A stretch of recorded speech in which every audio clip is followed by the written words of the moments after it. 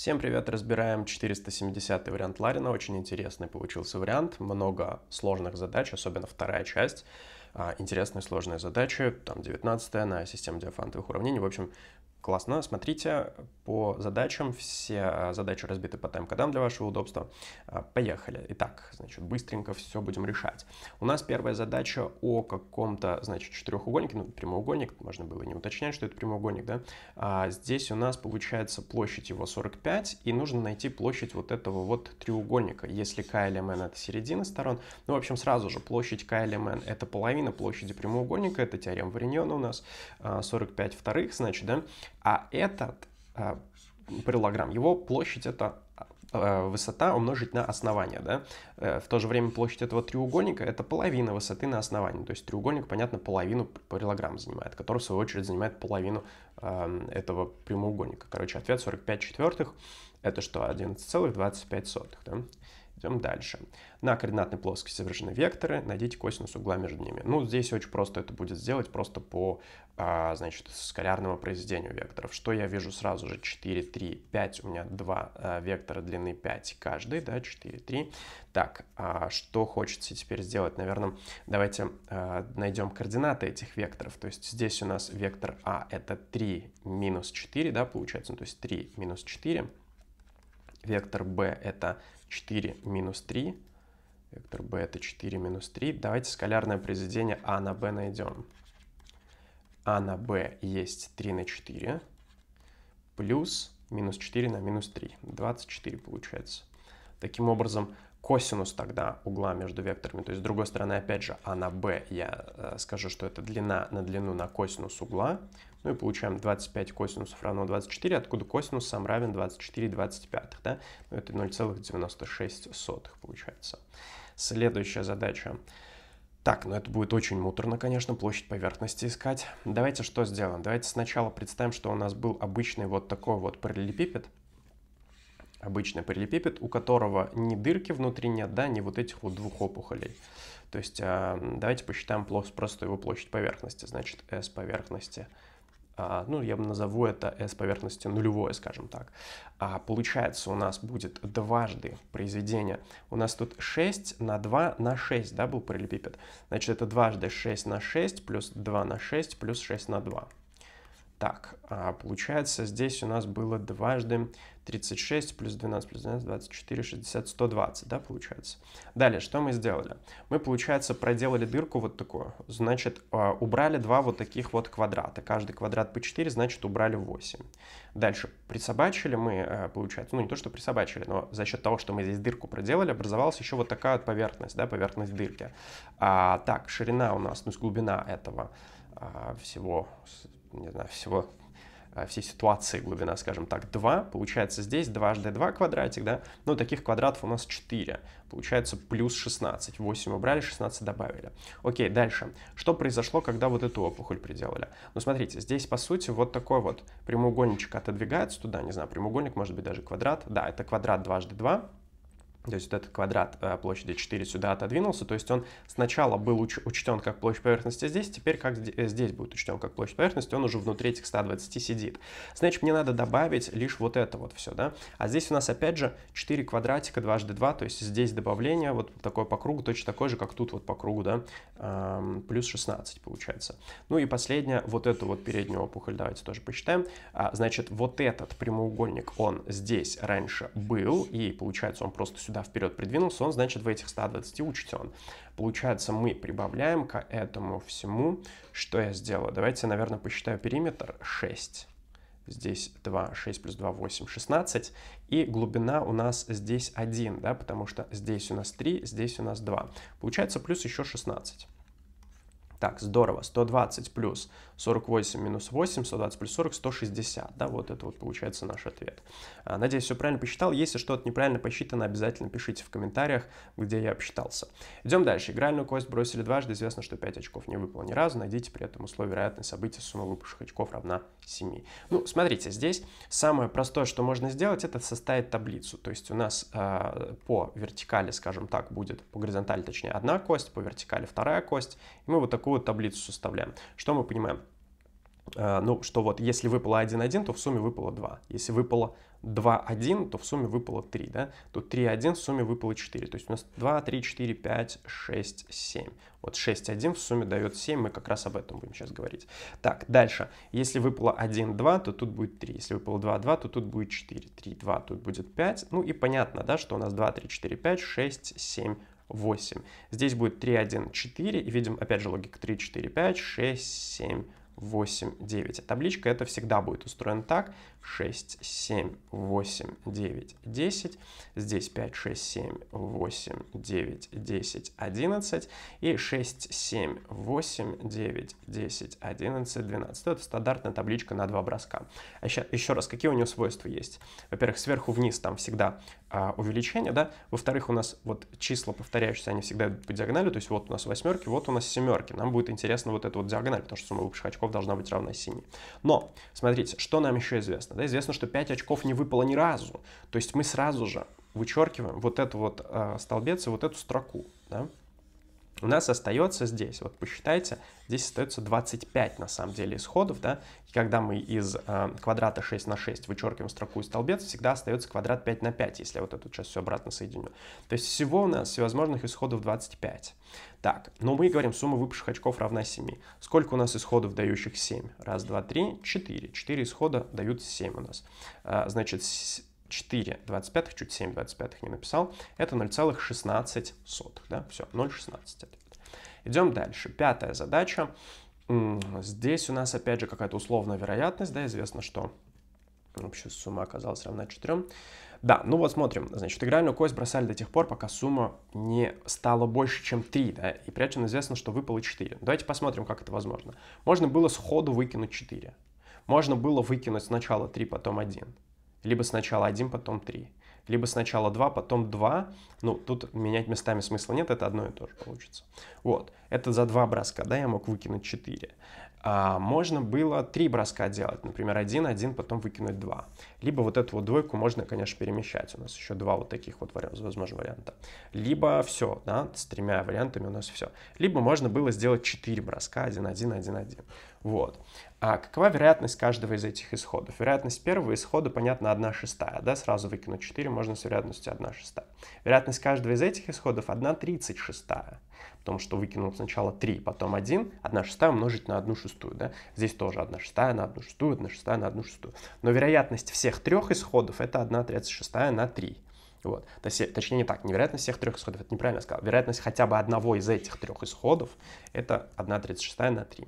Здесь по аналогии 1 216 же, да? Умножить также на 3. А здесь у нас будет 1 на 6 в четвертой степени, лень считать. 1 на 6 в четвертой степени. И какая будет вероятность? Значит, вероятность того, что выпало, а, был сделан ровно один бросок, да, какая вероятность того, что был сделан ровно один бросок? Вот смотрите, я все возможные исходы посмотрел, а, вероятности всех этих исходов записал, и мне говорят, найдите вероятность того, что был конкретно вот этот исход. Значит, я одну шестую, да, то есть вероятность этого исхода, делю на суммарную вероятность всех трех. 1 шестая плюс 3 тридцать шестых, 1 двенадцатая, плюс 3 216 Э, ну, в общем, там что-то будет, можно посчитать, это 1 на 6 четвертый. А, и, в общем-то, да, здесь округлите до сотых, нужно это, в общем, вычислить и ответ записать, как-то округлить до сотых. А, сами посчитайте, напишите, может быть, кто-нибудь в комментариях, что у вас получилось после вычисления пятой задачи. Тут должно быть что-то, кстати, вероятность очень близко к одной второй должна быть, насколько я вижу, да? Ну, что-то такое будет, да. А, идемте дальше. Шестая задача. Шестая задача. Решите уравнение вот такое, если уравнение имеет более одного корня, в ответе укажите их произведение. Ну, тут сразу в глаза бросается, что а, здесь будет сейчас образован квадратный трехчлен в два раза больше, чем этот, да. То есть я, например, скажу с x квадрат сразу же, да, давайте-ка я все все-таки бирюзовым буду писать x квадрат минус полтора x плюс 3 минус 6, да, это минус 3, а, равно корень из 2х квадрат минус 3х. Но здесь я знаете, что сделаю? Я сразу же скажу, что это минус 6 плюс 8.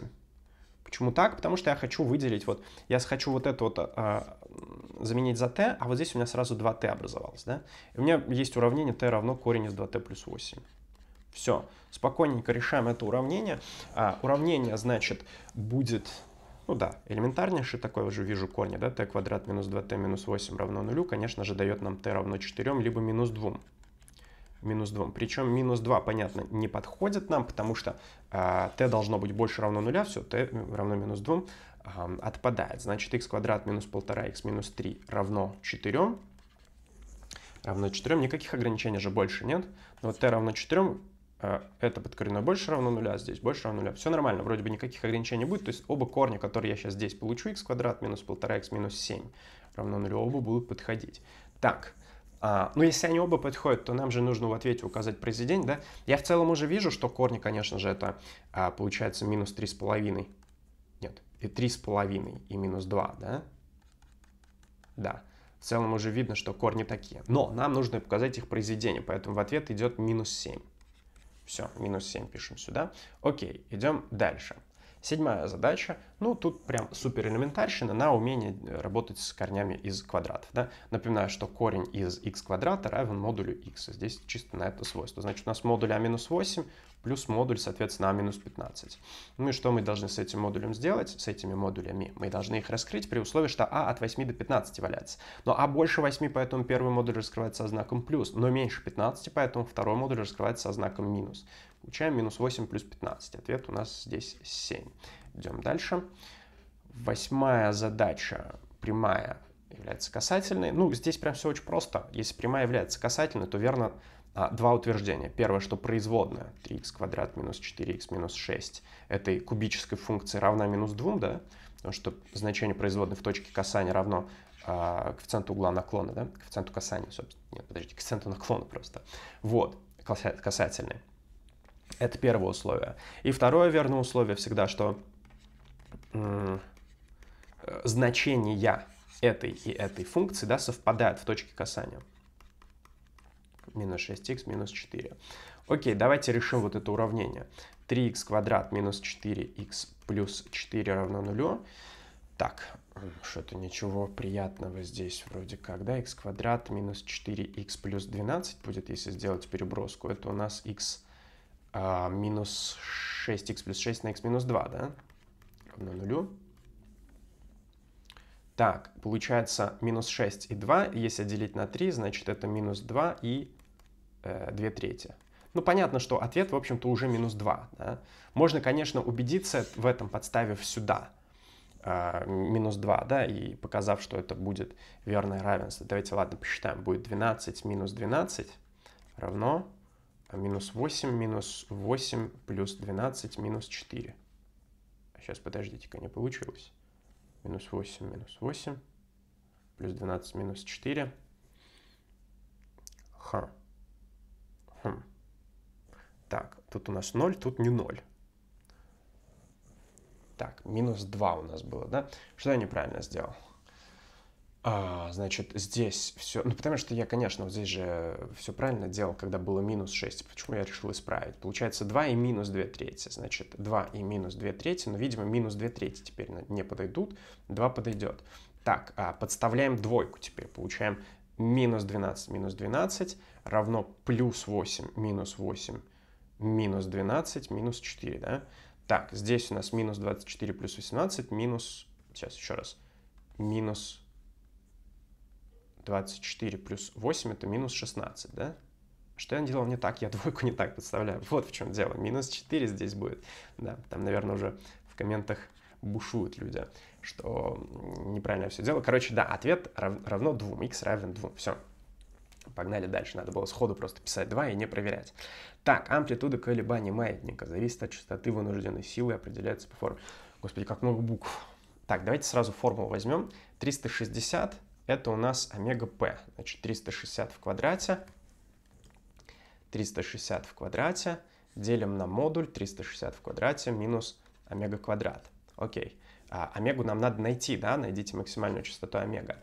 Если а, амплитуда колебаний превосходит величину нулевой не более чем на 1 пятнадцатую, до 16 пятнадцатых составляет. 16 пятнадцатых а равно а точнее 16 15 а нулевой равно а нулевой на 360 в квадрате. Вот такая вот история получается, да? Ну да, видимо так, видимо так.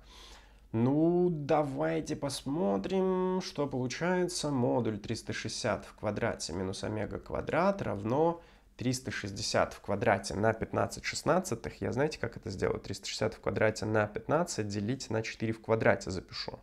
Вот, тогда у нас получается, что 360 в квадрате минус омега квадрат равно, равно либо 90 квадрат на 15, либо, соответственно, минус 90 квадрат на 15, да? Минус 90 квадрат на 15. Ну, модуль раскроем с плюсом и с минусом. Вот смотрите, что здесь теперь хочется заметить. Это 16 на 90 квадрат минус омега квадрат. Это 15 на 90 квадрат. Получается, что омега квадрат равно 15 минус 16, 1 на 90 квадрат, да, и омега равно 90. Мне кажется, это уже ответ, можно в целом его смело записывать. Здесь, наверное, ничего не выйдет. А, здесь будет что-то типа уже 7, нет, подождите, 15, 31 получится на 90 квадрат равно омега квадрат. Ну и видно, что тут омега равно, во-первых, не целому числу, да, во-вторых, нас просили а, максимальную частоту, максимальную частоту. Подождите, подождите, подождите, подождите. Эм, а почему так? Ой, да, 90 корней из 31, это может быть, я что-то не так посчитал все-таки. Омега квадрат сюда, 15 плюс 16 туда, 31 на 90 квадрат. Да нет, все, я здорово посчитал. Все я посчитал классно. А, меньшую резонансный, меньшую резонансный, да, вот это, это должно быть меньше, чем, а, меньше, чем 360. Вот, это больше, чем 360, поэтому оно прилетает, вот, и ответ все-таки 90. 90 будет ответ. Вот. А, понятно, что здесь еще есть условие превосходит величину а нулевой, да, то есть вот здесь должно быть больше равно, и по идее мы должны решать вот такое вот неравенство, да, но оно все равно всегда в, на краю выполняется, поэтому я записал там уравнение. Хотя может, конечно, быть так, что там кто-то меня подловит, да, ну, в общем, Вряд ли. Короче, скорее всего, правильный ответ. Очень не нравится мне просто эта текстовая задача. Если э, ответ неправильный, вот посмотрите, если вы считаете, что ответ неправильный, пишите в комментариях. Давайте дальше смотреть. Очень хочется перейти ко второй части просто. А, так, в 9.15 в северном направлении вышел пешеход со скоростью 4 км в час. Окей, через некоторое время вышел другой пешеход. Определить через сколько минут, если в 11.30, 9.75. Так, 11. Ну ладно, с 9.15 до 11.30 прошло 2.15, да? 2 часа и четверть еще. То есть он пройдет 4 километра, еще четверть от этого 9 километров пройдет первый пешеход. Вот, в 9 километрах он. Второй же пешеход там пройдет, видимо, поменьше как-то. Здесь у нас будет 9,75 расстояние между ними. М -м так. На запад, да, пошел, все правильно, влево. На запад. Здесь у нас 9,75, 9. Так, ну это, видимо, какая-то пифагорова тройка. Очень не хочется мне так считать. Давайте все на 4 домножим и на 3 поделим, наверное, да?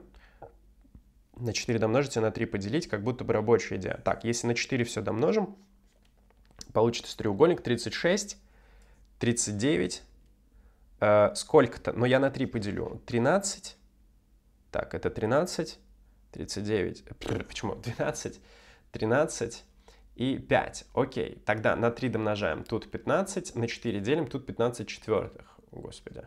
15 четвертых, 3,75. Давайте я запишу так. Хорошо, 3,75. Пум-пум, окей. Ладно. Дальше, в 13.00 между ними было расстояние 18,75 километра. Значит, этот еще сколько-то проходит, этот еще сколько-то проходит, и между ними расстояние уже 18,75. Наверное, побольше они прошли, да? Ну, неважно.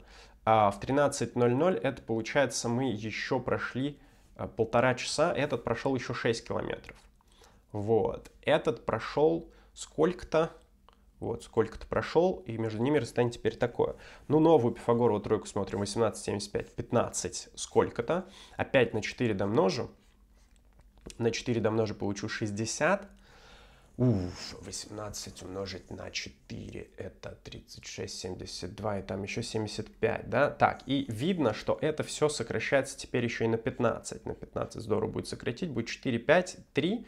Если там было на 15, значит тут 45. И теперь, если обратно вернуть и поделить все на 4, то получается э, 10 целых, да, 10, нет, подождите, на 4 же? Мы же здесь, у нас было 15, да, на 4 умножали, 11,25. А, вот это вот все 11,25. Так, так, 11, 25, тогда вот это вот расстояние, это 11 минус 3, это 8, 25, минус 75 будет 7,5, э, да? 7,5. А, ну вот все, смотрите, у нас получается, что, значит, второй пешеход, второй пешеход за полтора часа, да, за полтора часа прошел 7,5 километров, то есть его скорость 5 километров в час. Вот, скорость второго 5 кмчей. Так, все, да. Ответ получается 5 же. Нет, определите, через сколько минут. Через сколько минут? Значит, 3,75 он прошел после выхода первого, да? 3,75 а после выхода первого он прошел со скоростью 5. То есть он шел 45 минут. Вот, он шел 45 минут. Бу, в 11.30 45 минут. Так, всего, всего этот пешеход шел 2.15. Мне надо просто определить, через сколько минут после выхода первого вышел второй. Так, 2.15 минут 40. Короче, через час 30, через 90 минут он вышел. Вот, вот так вот. Господи, да, через 90 минут. Муторная задача тоже, чуть там скорость не записал.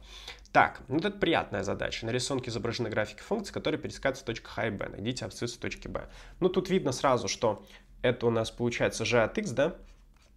Это x квадрат. А вершина у нас минус 1, значит плюс 2x. Ну и пересечение здесь минус 1, да? Все, значит мы решаем уравнение 4х квадрат минус 25х плюс 41 опять я пишу не тем цветом. 4х квадрат минус 25х плюс 41 равно х квадрат плюс 2х минус 1. Вот, 3х квадрат минус 27х плюс 42 равно нулю. На 3 все здорово сокращается. Плюс 14 равно нулю. Ну и очевидно у нас корни 2 и 7, да? Либо 2, либо 7. Так, проверяем. Действительно у нас А имеет абсциссу равную 2, значит у Б абсцисса будет равна 7. Все, абсциссу точки Б как раз нужно было найти. Изи-пизи. Так, двенадцатая задача. Берем производную. Сразу же наибольшее значение нужно найти. Так, здесь у нас производная логарифма будет 5 делить на 5х минус 12 умножить на натуральный логарифм 2, да? Ну, короче, я вот сейчас вот так вот сделаю. У потому что и тут, и там а, знаменателе будет ln2, и оно сократится, вот так вот его запишу, в общем. Здесь 2х на х квадрат плюс 1. Так, надо решить уравнение. Вот это вот равно нулю. 5х а, квадрат плюс 5 минус 2х на вот эту историю, минус 10х квадрат плюс 24х равно нулю. Так, минус 5х квадрат плюс 24х плюс 5. Ага, ну тут числа красивые нам подобрали. 5х квадрат минус 24х минус 5 равно нулю. Так, ну видимо здесь будет Видимо, здесь будет 5. 5, да? То есть я как соображаю всегда, если произведение крайних на 1 отличается от среднего, то корень это всегда, значит, c должен, должно быть, да? И еще корень, э, еще корень минус единицы на c, 1, 1 на c. Вот я что-то не могу определиться, 5 и минус 1 пятая или как? Так, минус 1 пятая же, по идее, подходит, да, получается 5 25 плюс 24. 5 25 плюс 24. Да, все, согласен. Минус 1 пятая и 5, да. Так, это две такие точки. А, теперь что нам нужно? Наибольшее значение функции. Ну, можно, конечно, дальше исследовать производную, да, то есть мы можем, конечно, сказать, что y' штрих y минус 1 пятая и 5, и тут как-то знаки посчитать как-то это не хочется делать-то, делать-то не хочется знаки-то, потому что неприятные, да? Ну, смотрим, значит, у нас будет, если мы подставляем что-то большее 5, то вот эта штука, да, я смотрю туда, потому что она наиболее простая, но не домноженная на минус единицу пока. Это числитель у меня такой, да? Подставляем что-то больше 5, получаем число отрицательное. Отрицательное получаем, а здесь мы получаем положительный знаменатель, значит, тут будет знак минус, плюс, минус. То есть вот так вот получается, да? Ну, не знаю, у меня вот так происходит. Значит, наибольшее значение в точке 5. Наибольшее значение в пятерке достигается. Значит, y от 5 считаем. Давайте мы посчитаем логарифм по основанию 2 от частного сразу. Да? 5 на 5 минус 12 делить на 5 в квадрате плюс 1. Так, подождите, а что-то как-то не пахнет оно чем-то хорошим. Логарифм по основанию 2. А, ну да, 13 26. Да, это логарифм 1 2 по основанию 2 минус 1. Короче, ответ минус 1. Вот такая вот первая часть. Все. А, пишите, что я сделал неправильно, если где-то была ошибка какая-то. Я как-то быстро все пролетел, наверняка где-то что-то накосячил.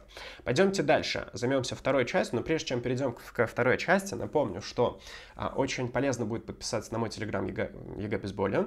Это очень полезный телеграм-канал по подготовке ЕГЭ на высокие баллы, на 90+. Там много советов и рекомендаций о том, как готовиться на высокие баллы. Я являюсь экспертом ЕГЭ, от лица эксперта, собственно, делюсь советами и рекомендациями. Также много всяких полезных постов. В общем, подписывайтесь обязательно. И а, еще обратите внимание на мои курсы по сложным задачам второй части. Вот сейчас мы будем разбирать как раз сложные задачи второй части. Если где-то у вас прям большие проблемы, обратите внимание на курсы по планиметрии и э, параметрам, они уже готовы. Также еще будут курсы по стереометрии и теории чисел записаны. Они пока не готовы, поэтому я весь пакет курсов со значительной скидкой продаю. То есть зайдите в мой телеграм-канал, чтобы посмотреть, какая там скидка сейчас, самая а, выгодная цена сейчас как раз-таки в закрепе в телеграм-канале есть. Смотрим, значит, 13 задачу. Так, уравнение решите. Ну, понятно, в общем, это раскладываем по синусу двойного. Тут косинус квадрат, тут будет косинус на минус косинус, да. Сразу же я говорю, минус косинус будет минус косинус, говорю, сразу же будет отриц... положительным, значит косинус будет отрицательным. Так, здесь у нас будет корень из 3 на 2 синус косинус. Минус 3 косинус квадрат равно минус косинус квадрат, да? Так вот. Ну и безбожно, кстати, делим на косинус, потому что он не равен нулю, ведь он строго отрицателен, да? Получается 2 корня из 3 синус х равно чему? 2 косинуса х, да? Хм, опять могу на косинус поделить, потому что он не 0. Значит, я получу тангенс х равен единице на корень из 3, да? Ну, это понятно, в общем-то, уже. Так, не нравится мне такое, вот так вот сделаем.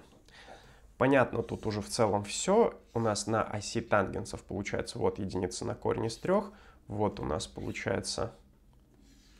Не получается у нас Ладно, вот так вот пусть все будет. Вот у нас получается а, такие точки, да, которые дают такой тангенс. Косинус у нас меньше нуля, поэтому подходит только такая дуга полуокружности. Поэтому это уходит. Вот эта точка, это у нас что? Это 5 пи на 6, нет, 7 пи на 6 плюс 2 пика. x равно 7 пи на 6 плюс а, 2 пика. Так, я пока никак не оскверняю эту окружность записями, потому что хочу на ней же сделать отбор пункта b. Минус 3π, минус π пополам. Ой, подождите-ка а то у нас оборот 2,5, да, точнее 2, 2 и четверть окружности. Вот, это получается у нас минус 3π, это вот сюда, от минуса 3π начинаем вертеть. И вертим мы целый оборот, и еще четвертинку, то есть сюда. Вот, и получается дважды мы через эту точку проходим, ну, в общем, в пункте b будут тогда минус 3π плюс π на 6. Минус 17 π на 6, да, apparently. И э, минус π плюс π на 6. Ну, понятно, оно на 12 π на 6 больше равно, значит, минус 5 π на 6. Такие вот два корня будут. Ну да, простая очень 13 а, Единственное, главное, конечно же, вот здесь, когда будете преобразовывать 2 в степени логарифм по основанию 2, да, от минус косинуса, это просто ОЛТ, поэтому оно ровно минус косинусу. А, будьте аккуратны, тут специально вам это засунули, чтобы вы в начале ОДЗ посчитали, это надо не забыть. Так, 14 задача. Вот это уже что-то сложное. Здесь мы уже надолго задержимся. Так, у нас основание параллелепипеда в основании параллелепипеда ABCD, а ромбик. То есть у нас какая-то вот такая, наверное, ситуация. Так, как-то так изображу. Ромб у нас в основании, а еще и... Так, диагональ у него пересекается в точке О, понятно? Вот. А получается еще у нас какая-то вот такая вот ситуация с боковыми ребрами, да, потому что пишет, что вершина А1 ортогонально проецируется в точку О. То есть высота фактически а, из точки А1 падает в точку О, да? Ну, вообще, на самом деле, а, понятно, что таким образом у нас вот здесь вот есть такая вот пирамидка. Вот такая вот пирамида четырехугольная. А, правильно она даже получится. у Нас... А, нет, подождите, не, не будет она правильно, она же в основании-то не квадрат, а ромб. Ну, хорошо, ну, в общем, просто я себе такое сразу лично представляю, может, это и бесполезно сейчас будет. Вот, но у нас параллелепипед, мы его давайте допилим. Так, и вот сюда вот тоже давайте подставим то же самое, чтобы лишний раз не рисовать по несколько раз. И вот это вот тоже скопируем просто. Конечно, я стараюсь всегда от руки чертить, чтобы было честно а, перед ребятами, сдающими ЕГЭ, потому что на ЕГЭ-то вам придется чертить далеко, не, ну, то есть тоже придется от руки чертить, не вот этими вот инструментами, которые тут предлагает программа, да, вот. А, но иногда все-таки вот такой читерю копипастом. Так, проходит у нас плоскость перпендикулярно боковым ребрам. Ну, то есть у нас вот такая вот какая-то плоскость, видимо, да? Видимо, как-то так. Так, ну, вот так вот, наверное, да? И вот здесь вот... Ой, как некрасиво это получается все. Так, как же мне это нарисовать-то покрасивше? Так, давайте я начну, наверное, вот с этих двух ребер. Вот так вот, вот так вот, потом вот так вот проведу. Во! Вот оно получилось теперь ровно. Значит, А, К, Л, М назову эту всю историю. Так, здесь у нас А, Б, С, Д1, B1, C1, D1. И говорят в пункте А, докажите, что сечение призмы плоскостью альфа квадрат. То есть А1, К, Л, М должно быть квадратом. Ну, тут очень просто все будет. Мы понимаем сразу же, что вот это вот у нас равные треугольники – Почему? Ну, хотя бы по гипотенузе и катету, да? Э, нет, не катету, да. Смотрите, значит, что получается? Первое. Скажем, что у нас здесь прямоугольные треугольники. Вот. И что у нас вот эти вот катеты равны, наверное, да? Ну, понятно, что вот эти гипотенузы между собой равны, как э, стороны основания. Основание у нас э, все-таки ром. И хочется сказать, что вот катеты равны, только я что-то пока не соображу, почему они равны. Может быть, они и не равны, может быть, это и не доказывается. Я тут просто зря пока к этому э, привязался. Значит, давайте попробуем МК может провести.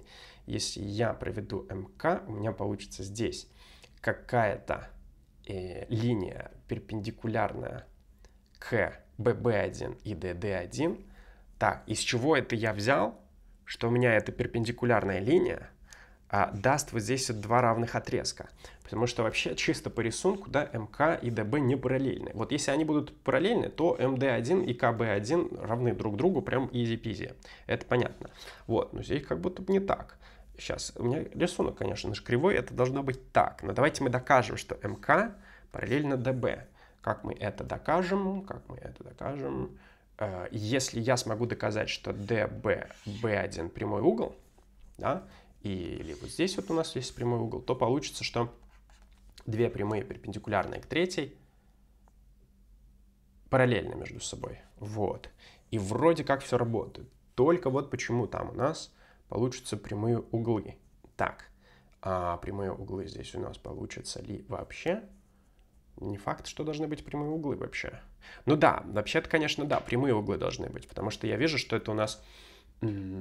Вот смотрите, если у нас была бы, был бы обычный параллелепипед, то понятное дело, вот здесь вот были бы ребра боковые перпендикулярные к основанию, да? А получилось как? Я этот параллелепипед, я его скосил вон туда вот, по направлению вот этих вот диагоналей, да, по направлению AC и A1, C1. И понятно, что при таком скашивании у меня B1B, вот, вот этот вот прямой угол B1B, D, э, да, он просто туда вот повернулся вместе со всем остальным. Вот, то есть интуитивно понятно, почему это так. Как мне это теперь доказать здесь строго?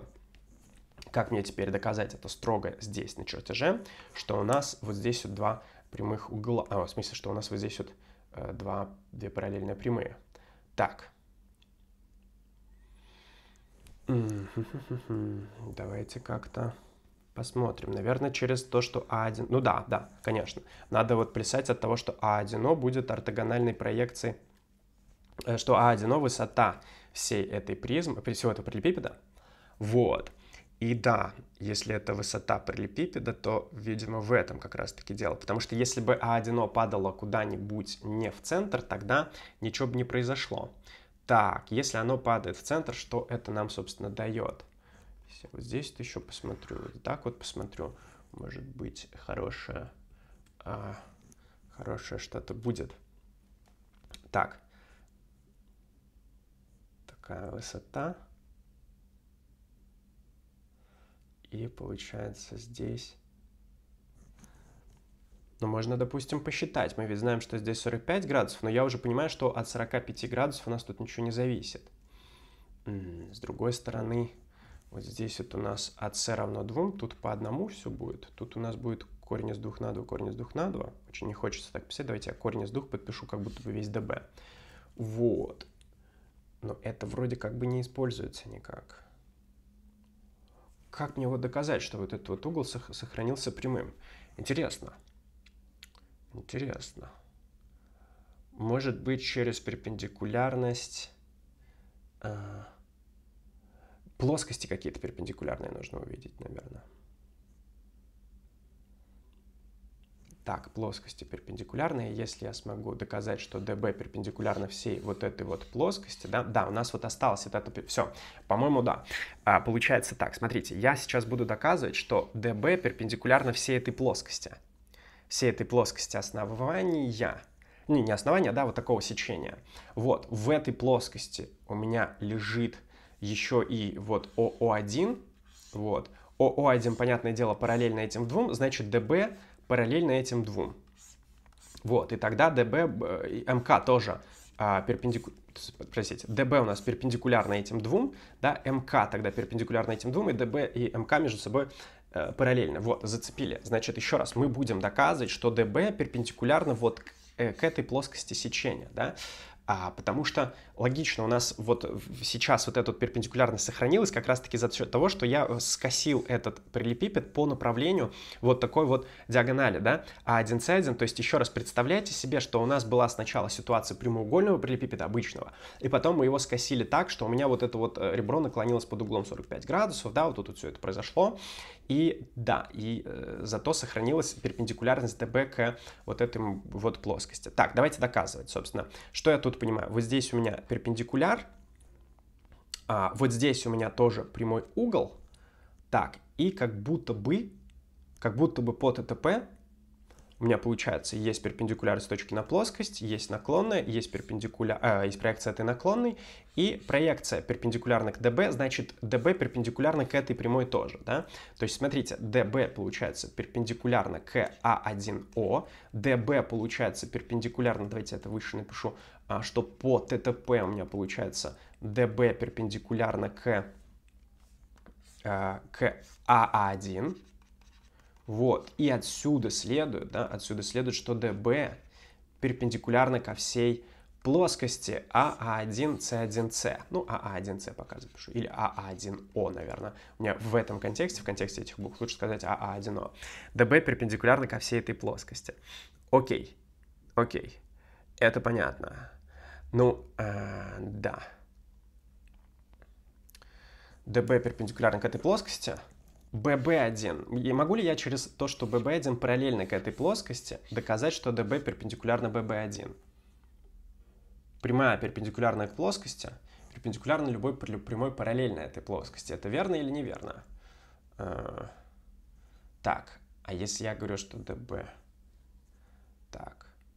Ну, вообще, Вообще, конечно, да. Смотрите, получается, что DB перпендикулярно к этой прямой, да, эти прямые между собой параллельны. Во, вот так вот легко можно доказать. Получается, что DB перпендикулярно к обеим параллельным прямым. Все. Отсюда, короче, делаем вывод, что DB перпендикулярно к каждой из а, прямых BB1 и а, МК тоже у нас. Ну, DD1 пока не берем. МК перпендикулярно к BB1. Вот. И отсюда следует, вот, отсюда следует, что таким образом DB параллельно МК. Вот, то есть DB параллельно МК, здесь у нас получается тогда а, параллелепипед вот такой вот, не похоже на это, конечно, но это так тут у нас параллелепипед, тогда вот эти отрезки между собой равны, и вот эти отрезки между собой равны. Все, дошел я до того, что хотел. Наконец получаем, что этот треугольник равен этому треугольнику, а значит равны А1К и А1М, да? Так, значит мы доказали, что сечение является ромбом. Фух, эврика. Значит, сечение является ромбом, доказали мы. Теперь надо доказать, что квадрат у нас получится. Как мы можем доказать теперь, что это квадрат? Ну, можно, например, вот здесь я уже вижу такую идею. Я ведь знаю, что МК и ДБ параллельно между собой. Здесь у нас параллелепипед. Я все, я уже зацепился за то, что МК равно корню из двух. Смотрите, тут у нас корень из двух. А дальше я что сделаю? Я сейчас просто вычислю А1L да, вычисляем вторую диагональ, и она тоже будет равна корню из двух. А вычислить ее будет достаточно просто, смотрите, как получается. Здесь прямой угол, ну потому что c1c перпендикулярно ко всей этой плоскости. Вот. Здесь 45 градусов, понятно, потому что здесь тоже 45 градусов, да, можем играть на том, что А1, АС, С1 это параллелограмм.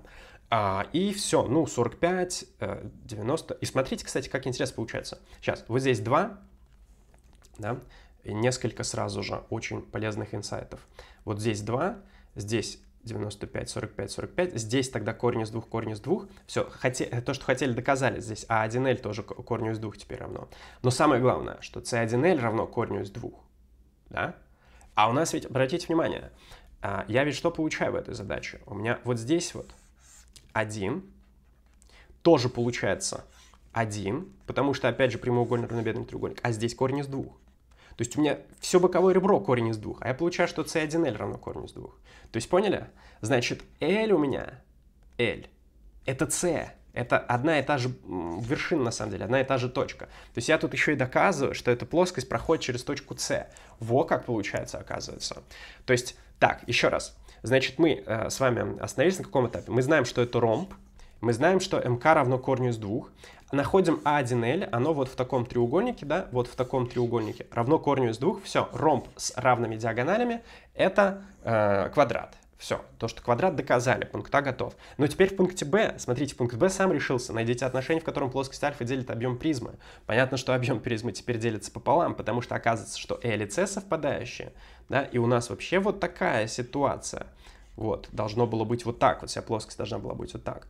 Вот, ну, понятно, что это чисто интуитивное такое, да, у нас нет никакой теоремы, утверждающей, что если у нас, допустим, а, плоскость какая-то проходит через, не знаю, через главную а, диагональ параллелепипеда, то она делит объем пополам, хотя, мне кажется, это можно как-то доказать, да, можно подумать, доказать, конечно. Вот, но, но можно просто вычислить здесь эту этот объем. Можно вычислить этот объем, а, просто поделив здесь на несколько фигур. Ну, понятно, в общем, делим на несколько фигур, вычисляем, и все получается. Но здесь самое главное достижение, это, конечно же, доказать, что L и C совпадают, и тогда понятно, что э, будет отношение один к одному. Вот. А, мне кажется, задачу уже достаточно сильно я докрутил. Если я сейчас начну вычислять, здесь будет какая-то рутина, а, и э, уже будет неинтересно смотреть, поэтому давайте на этом этапе остановимся. Мы понимаем уже, уже что в пункте B отношение один к одному. Вот, и идем дальше. Пятнадцатая задача. 15 это у нас здесь, конечно же, стандартное вообще показательное а, неравенство. 2 в степени x заменяем zt. Получаем что? 4t куб. По-моему, что-то такое в прошлом году, кстати, давали. Я очень плохо слежу за 15 задачами, потому что они очень легкие все. Плюс 13t. Вот, ну что такое, по-моему, было? Здесь у нас дважды t э, квадрат, 2t квадрат, минус 9t плюс 4 вот, меньше равно чем что? Чем 2t квадрат, 2t просто, точнее, минус 1 на t минус 2 плюс 3 на 2t минус 1. Вот. Что в этой задаче всегда надо делать? Надо всегда первым шагом а, вот здесь вот почленно поделить, да, а, ну, то есть разделить числительный знаменатель. Можете делать это разными способами. Можете делать это через, э, там, а, деление столбиком, вот, или еще как-то, как вас учат. Я это всегда делаю следующим образом. Я говорю 4t в кубе минус 18t в квадрате плюс 8t и дальше. Что значит вообще произошло? Объясняю. Я в числителе записал э, такой многочлен, который в 2t раз больше, чем этот. Понимаете, да? То есть я 2t умножил на вот это. Откуда берется 2t? Я просто по старшим членам смотрю. Я говорю, что 4t куб делить на 2t квадрат равно 2t. Значит, у меня а, вот это вот умножить на 2t, да, это как бы, можно сказать, что это целая часть. Вот сложно всегда объяснить эту идею. Представьте, что я 37 там шестых а, хочу превратить в обыкновенную дробь, да? Ну, точнее, в неправильное, э, в смешанное число хочу превратить. Вот.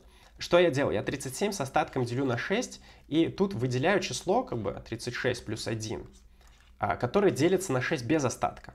Вот. Ну и все. Здесь я тоже, значит, выделил такой многочлен, который на 2t квадрат минус 9t плюс 4 поделится без остатка. Вот. А как я догадался до него, я 2t а, квадрат умножаю, ну, 4t куб поделил на 2t квадрат, потому что я знаю, что это как бы соответственные э, одночлены этих многочленов, и здесь должно быть так. Очень сложно объяснять этот момент, я как-то редко это объясняю на самом деле, но мне кажется понятно. Вот, пойдемте дальше. Значит, минус 18t квадрат плюс что? У меня тут должно быть, значит, 27 вторых t квадрат. Потому что эти две вещи в сумме должны дать минус 9 вторых t квадрат. Дальше 8t должно быть еще плюс 5t, чтобы получилось 13t. Вот, делим все это на 2t квадрат, минус 9t плюс 4 равно 2t минус, ну, давайте я все перенесу, минус, почему равно, кстати, там меньше равно, минус 2t плюс 1 на t минус 2, минус 3 на 2t минус 1, а меньше равно нуля. И вот здесь самое приятное во всей этой задаче. А, когда я поделю вот это вот почленно, мы же уже много раз сказали, что это будет 2t. Да? Дальше будет 27 вторых t квадрат плюс 5t делить на 2t квадрат минус 9t плюс 4. Кстати, давайте разложим это на множители. Оно разложится на множители вот так. Вообще просто тут в этой задаче всегда так работает. Вот, если не верите, просто перемножьте 2t минус 1 и t минус 2, вы получите такую историю.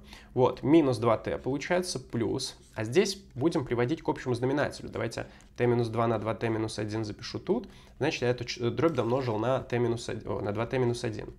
Вот, здесь у меня будет минус 3 на t минус 2, вот, и знаменатель точно такой же, t минус 2, 2t минус 1.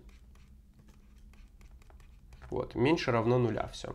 Так, получается, 2t минус 2t уходит. А здесь у нас теперь что остается? Вот это все э, приводим к общему знаменателю. t минус 2, t минус 1. Вот, получается, что это 27 вторых t квадрат плюс 5t минус 2t плюс 1 минус 3t плюс 6. Вот такая вот история. И приводим подобное. 27 вторых ну, давайте на 2, наверное, домножим уже. 27t квадрат. Здесь будет... А, здесь все сократится. Плюс 7, да? Плюс 14 получается. О, как-то вообще все э, очень хорошо в числителе. Просто весь числитель можно посокращать. Делим на 27t квадрат плюс 14. Потому что оно не равно нулю, да? Но оно всегда больше нуля. Вот. А делю на что-то положительное, значит, у меня здесь все хорошо будет. Как-то слишком все хорошо. Может быть, я где-то что-то не так сделал. 27t квадрат, та -та -та. здесь у нас так, минус 2t, плюс 1, минус 3t, плюс 6. Ну, в общем, вроде все правильно преобразовываю. Вы там в комментариях, опять же, напишите, если что-то не так. 1 на t минус 2 на t минус 1 меньше равно нуля. Но я уже понимаю, что здесь просто это а, превратится в неравенство t минус 2 на t минус 1 меньше нуля. Да? То есть, как я рассуждаю здесь? Я просто говорю, что так, ну эта дробь будет принимать меньше равные нуля значения, а, то есть значение отрицательное, либо равное нулю, только если у меня знаменатель будет отрицательным. В целом, как бы а, равно нулю, у меня равна нулю, эта дробь вообще в целом не может быть, значит просто знаменатель должен быть отрицательным. То есть я по сути говорю, оп, исчезло все, это мира затормозил, 1 на t минус 2 на t минус 1 должно быть меньше равно нуля, то есть t минус 2 на t минус 1 просто меньше нуля. Просто другого варианта невозможно. Ну, значит, у нас t от 1 до 2. Все, здесь все очень просто. Так, а что такое t? t это 2 в степени x. Не знаю, как-то все слишком просто получилось. Может быть, так и должно быть. Эм, значит, 2 в нулевой меньше 2 в x меньше 2 в первой. x от 0 до 1. Ответ 0,1. Может, так и должно быть, может, не должно быть так. В общем, смотрите, а, где я ошибся. Если ошибся, напишите в комментариях. Так, идемте дальше, 16 задачу смотреть. Ой, экономика. Так, в июле планируется взять кредит 720 тысяч на 25%, одним платежом часть долга. Ага, ну то есть три года кредит не меняется, да, долг не меняется, а потом, ну понятно, в общем, три года остается то же самое, а потом двумя выплатами выплачиваем. То есть у нас получается 720 на 1, 20, 25% это 5 четвертых, да, минус x умножить на снова 5 четвертых минус x, это получается то, как мы выплатили кредит. То есть у меня был долг 720 в конце 29 года, он увеличивается на 25%, то есть умножается на 5 четвертых, потом э, делается выплата да, в 30 году. Вот, потом новый долг вот такой, он увеличивается в 5 четвертых раза, делается выплата минус x, и после этой выплаты, собственно, долг равен нулю. Да? А, и получаем 720 на 25 шестнадцатых минус x на 9 четвертых, да, будет? Минус 9 четвертых равно нулю. Так, и э, 720 делить на 16, умножить на 25. По-моему, все посчитается. А, смотрите, давайте-ка мы все лучше на 16 домножим, да? Зачем так делать? Если 720 на 25 минус x на 144 у нас здесь будет равно нулю. Так, сейчас еще попреобразовываем. 144 как будто бы хорошо очень делится на 36. Будет 20 на 25 минус x на 144 это 36 на 4. Правильно? 36 на 4, да, равно нулю. И получается x равен 125. Фух, вот, мы посчитали, значит, э, не, вообще бред, полный бред. x равен 125, не может быть такого. 20 делить на 4. Так, мы делили на 36 все, да? Почему полный бред, говорю? Потому что как-то слишком маленькая выплата. Не может быть выплаты 125, если весь долг 720. Двумя выплатами по 125 такое не выплатишь. А, еще раз. Минус x на 5 четвертых минус x так, 720 на 25 шестнадцатых было, на 16 мы домножали. А, конечно, почему у меня? Почему у меня 144 появилось? У меня же 36 э, должно появиться. 36 минус 36. Все, и на 36 делим, получается вот такая история. x равно 500, а вот так уже очень все хорошо. x равно 500, это действительно правда, потому что э, 720, да, увеличивается на... Ну, короче, да, 500 прям работает. Так, и что? И что? Получается, мы трижды выплачивали 25% от 720, это вот три года у нас долг не менялся.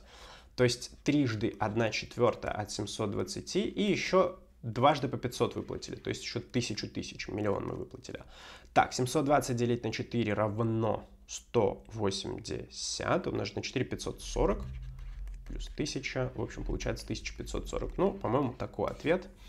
Вот, идемте дальше. 17 задача. Итак, переходим наконец-то к задачам посложнее, да, к задачам по плане... Ну, вообще-то у нас стереометрия еще была сложная, но у нас есть еще планиметрия, значит, параметры и теория чисел. Три самые сложные задачи будут. А, прежде чем решим их, напомню, что очень полезно будет подписаться на мой телеграм-канал. Это в целом а, самый полезный, наверное, телеграм-канал по подготовке ЕГЭ на, к ЕГЭ на высокие баллы на 90+. И также обратите внимание на мои курсы по сложным задачам. То есть, если вы сейчас, например, что-то не понимаете в 17 18 19 что я буду сейчас разбирать, то на этих курсах все объяснено. С огромной скидкой можно сейчас купить пакет этих курсов, всех четырех задач. В общем, это лучшие курсы, на самом деле, по второй части. Просто посмотрите, зайдите на сайт, который в описании к этому видео, и посмотрите, почему я так считаю, что это лучший курс. Так, смотрим. Что у нас здесь? Здесь у нас задача про две окружности. Так, две окружности радиусов, значит, 2 и 1, то есть как-то они в два раза различаются радиусами, ну, наверное, как-то так вот приблизительно прикину. Вот, а как-то так все у них произошло, что... А, ну здесь, в общем-то, надо будет проводить обязательно общие касательные, да, и пересекать эти общие касательные. Наверное, вот какая-то такая ситуация будет. И здесь еще одно общее касательное к этим окружностям. Вот, такая вот ситуация. А, да, тут не просто касательные надо провести, а надо обязательно эти касательные сразу же пересечь, потому что все, собственно, так и будет решаться сейчас. Так, к двум окружностям проведены касательно АБ и СД, причем А и С лежат на меньшей окружности, а Б и Д на большей, то есть А, Б, С, Д вот так вот. Так, докажите, что АН равно ДМ, если прямая АД, так, прямая АД, так что ли? Угу.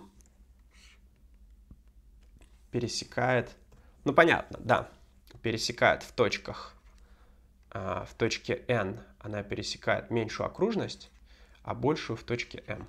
Вот. Ну, понятно. Давайте докажем в пункте А. Очень простой будет пункт А. Что здесь надо видеть сразу же? У вас есть касательная АБ к большей окружности и секущая АД. Да, и произведение секущей на ее внешнюю часть равно квадрату касательной. Смотрите, АМ умножить на АД равно АБ квадрат. Абсолютно аналогичная ситуация. DC это касательно, внешняя часть секущей на секущую, dn на da, да, равно dc квадрат. Вот. Давайте теперь докажем, легко играючи, что а, а b и cd равны между собой. В целом интуитивно понятно, что это так. Давайте посмотрим, почему это так. Пусть у нас, значит, а, эти касательные, да, продолжение этих касательных пересекаются в точке О, тогда равны ОА и ОС, просто потому что это а, отрезки касательных из общей точки. Ну, я думаю, всем уже все понятно. ОБ и ОД тоже между собой равны, значит, АБ и СД тоже будут между собой равны, как разности равных. Вот, АБ и СД между собой равны. Вот, ну и давайте допишем, что АБ равно СД. Получается, из этих трех равенств следует, что АМ умножить на АД равно а, ДН умножить на ДА. Ну а ДА и АД это одно и то же, они сокращаются, получаем АМ равно ДН. Ну и смотрите как. У меня получается, что вот этот отрезок равен этому отрезку, да? Ну а ДМ и, а, и АН это, собственно, отрезок АД минус два вот этих вот равных. Ну, я думаю, уже очевидно, что ДМ и АН между собой равны тогда таким образом. Вот, пункт Б. Теперь найдите площадь треугольника АБД, если дополнительно известно, что точка М и N делит отрезок АД на три равные части. Угу. То есть у нас теперь вообще вот так вот все три отрезка между собой равны. Давайте их по X все каждый обозначим. И интересует нас площадь треугольника АБД. Угу. Так. Так. Так, так, так. Ну, смотрите, я, наверное, не буду искать площадь АБД. Я, наверное, буду искать площадь ДАО. Да? То есть, еще раз, DBO — это такой вот большой треугольник равнобедренный, в котором проведена медиана. Медиана делит треугольник на два равновеликих, значит, DAO у нас, а, собственно, треугольник, который, площадь которого равна треугольнику, площади треугольника ADB. Окей, это понятно, значит, эту площадь будем искать. Непонятно, как, собственно, x-то найти. Как x найти? Ну, я понимаю, опять же, окружности радиусов 2 и 1 нам даны, я это держу в голове, но я пока не вижу просто, как это применить. Ну, давайте, наверное, пока проведем эти радиусы. 2, 2, 1, 1 и 1. А, да, кстати, да, а я вот это вот интуитивно проделал и не проговорил. Собственно, э, наверняка у вас сейчас есть вопрос, а с какой радости АО и АБ между собой равны? Да, я как раз думал о том, что радиусы-то у нас 2 и 1. Во-первых, понятно, что э, центры О1 и О2 этих окружностей, оба все лежат на бисектрисе угла. Давайте ровно бисектрису попробуем показать. Ну, бисектриса. Так, нет, все-таки давайте вот так вот просто сделаем. Так, как-то упорно не хочет бисектриса бисектрисить. Вот. Да, вот, теперь видно, что углы между собой вот эти равны. Так, еще раз. Значит, с какой-то радостью у меня вот эти два отрезка между собой равны. Я уже вот такую вещь прикинул. Смотрите, треугольник О2АО и треугольник О1БО между собой подобны, подобны с коэффициентом подобия 1 к 2. Значит, это к этому как один к двум относится, ну и понятно, что тогда оно половина ОБ, значит, половинки между собой равны. Так, отлично. А, что мы будем дальше делать? Надо теперь как-то нам все повычислять. Повычислять все теперь нам как-то надо. Пока не видно ничего здесь хорошего. Как-то мне надо вот эти вот отрезки, мне кажется, найти АБ и АО. Как же это сделать-то? Как же это сделать? А, ну подождите, вот я балбес. Я же только что это уже сделал. Вот же. Так у меня же все понятно. АБ квадрат равно АМ на АД. Ну давайте запишем, что в пункте Б, да, АБ квадрат равно АМ это 2х, тут 3х. Все. АБ квадрат равно 2х на 3х. Все, АБ равно х корней из 6 тогда, или корень из 6х, вот так вот сделаем. Все, да, АБ равно корень из 6х. Ну, здесь теперь понятно все становится. Корень из 6х, корень из 6х, корень из 6х. Смотрите, а, все. Задача почти решена. Мне только остается потом x уже а, привести. Объясняю, что происходит. Значит, этот уголочек альфа сейчас обозначаем. В этом треугольнике все для альфы находим. Да?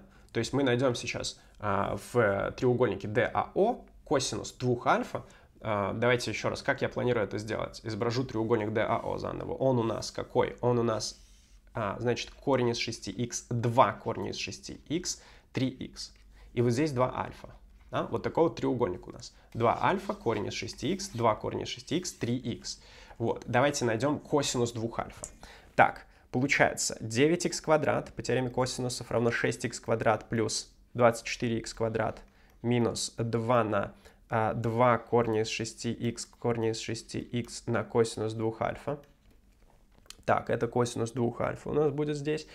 2 а, на 2 корня из 6 на корень из 6 это 4 на 6, 24 х квадрат косинусов 2 альфа равно чему? Здесь 30 минус 9, 21 х квадрат. То есть косинус двойного угла нашего равен 21 24, это у нас 7 восьмых. 7 восьмых. Давайте сразу синус найдем, да, по от и т, получается это 49, 64, 15 восьмых 15 под корнем. Корень из 15 восьмых, синус двойного. Хорошо. Синус двойного мы знаем, площадь уже можем искать, да, единственное, что нам x пока неизвестен, давайте x вычислим. Так, как же нам найти x? Возвращаемся сюда. Ну, в целом, смотрите, нам уже про альфу все известно. Напоминаю, косинус 2 альфа это 7 восьмых. Да? Если косинус 2 альфа 7 восьмых, то я могу поиграться вот в таком треугольнике. О1, СО. О1, СО. Ой, О2 точнее, это у нас СО. У него катет известен. Синус угла сейчас найдем. Или тангенс угла сейчас найдем. Что найдем? Ну, давайте что-нибудь найдем. И да, да, лучше синус, конечно, найти. А, или косинус. Ладно, давайте синус найдем. 1 минус 2 синус квадрат альфа равно 7 восьмых. Это я просто син... косинус двойного расписал, да, по формуле. Значит, э, получаем 2 синус квадрат или просто синус квадрат альфа равно туда-сюда 1 шестнадцатая. У, синус равен 1 четвертой. Смотрите, как приятно. 1 четвертая. Все, О2О тогда у нас 4. И найдем сейчас СО. СО это у нас что? 6х квадрат плюс 1 равно 16, x квадрат равно 15 шестых. Я вот так оставлю. То есть обратите внимание, я не вычисляю сам x, да, мне x квадрат на самом деле только интересен. x квадрат равно 15 шестых. Не 15 шестых это глупо, 5 вторых. Так, 5 вторых. Почему я так оставил? Да потому что я буду сейчас площадь искать, а в площади у меня будет 1 вторая на произведение вот этой стороны с вот этой стороной и на синус еще двойного угла. Вот он, на корень с 15 на 8. Да? Что мы получаем? 1 эм, вторая 2 сокращается. 6х квадрат. Это будет 6 на 5 вторых. А здесь корень из 15 на 8. Ну, в целом все, вот он ответ. Так, 6, 2, 3, 15 корней из 15 делить на 8. По-моему, все классно я сделал. Мог где-то обсчитаться. Конечно, некрасивый ответ. но в целом все адекватно достаточно. У нас тут синус получился равен 1 четвертой. Мне кажется, так и задумывали. Тут будет сложно, конечно, подобрать, чтобы и тригонометрия была хорошая, удобная, да, и чтобы у нас еще и при этом площадь получилась э, целая. Поэтому, мне кажется, все правильно. Так, идемте дальше. 18 задачу смотрим. Так, ну что, 18 задача. В такой задаче всегда рекомендую, конечно, вот увидев уравнение, да, сразу же попробовать правую часть разложить на множители. Причем, так, выглядит так, как будто бы правую часть удобно разложить относительно а. То есть, смотрите, я сейчас правую часть рассмотрю как квадратное уравнение относительно а. Я говорю а квадрат плюс э, 3а, 3х плюс 1а плюс 2х на х плюс 1. Вот. И рассматриваю это как квадратное уравнение относительно а, чтобы разложить на множитель, а все уже видно. То есть, видите, просто тупо по виету 2х и х плюс 1 в сумме дают 3х плюс 1. Но единственное, мне надо, конечно, сделать а минус 2х и а минус х плюс 1, да? а минус х минус 1 получится равно нулю. Почему? Потому что сумма должна быть равна минус 3х плюс 1. Значит, корни должны быть, соответственно, Uh, минус 2х и минус uh, x плюс 1, и я балбес, это означает, что как раз-таки здесь будут uh, плюсы. Все, все нормально, вот так вот будет. В общем, да, здесь прямо изи все раскладывается по виету сразу же. И тем более еще, смотрите, подсказочкой является вот эта вот скобочка, конечно же. Так, ну давайте сделаем, значит, уравненица. Уравненица какое? Уравненица мы сделаем вот такое. а плюс 2х корней из 1 плюс 2ах, да, все-таки так запишем, вот, равно вот такому. Так, здорово. Ну что я могу сказать? Я могу сказать, что будет а плюс 2х умножить на а, корень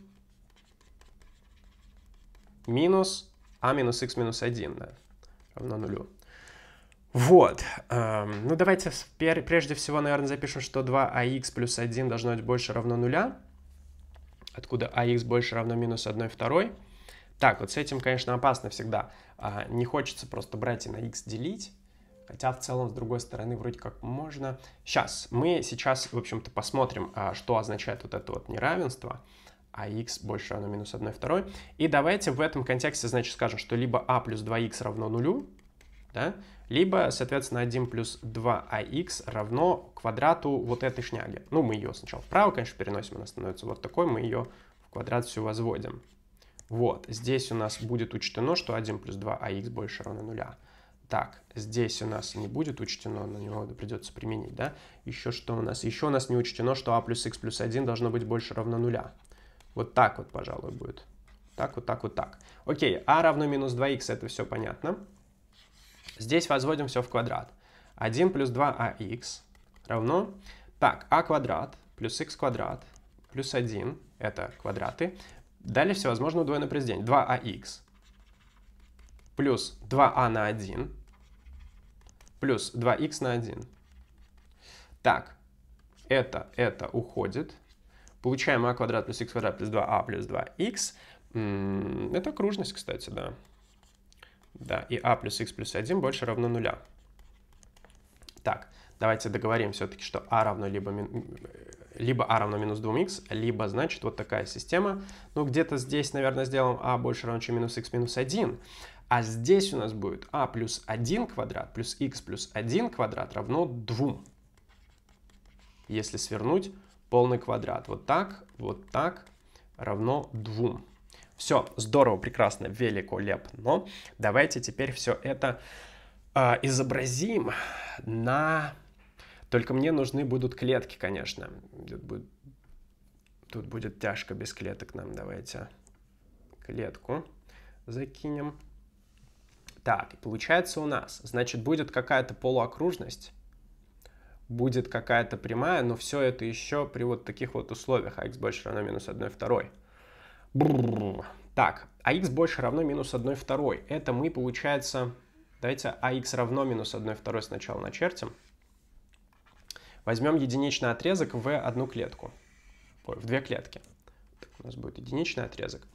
Так, здесь у нас будут x и a, а x равно минус 1 второй, да? Это значит, что мы э, чертим вот такую вот, что ли. Сейчас, подождите-ка. Да, получается такую. Да. Такую вот гиперболу чертим. Как неудобно? Очень неудобно будет. Да, и здесь вот у нас еще вот так вот получается. И вот так вот. Да, очень неудобно у нас. Прям тут, конечно, тесно все будет. Давайте-ка возьмем единичный отрезок в 4 клетки. В 4 клетки будет единичный отрезок. Тогда у нас будет вот такая ситуация, вот такая ситуация. Тут, конечно, сильно попросторнее получается. А вот такая ситуация и вот такая ситуация.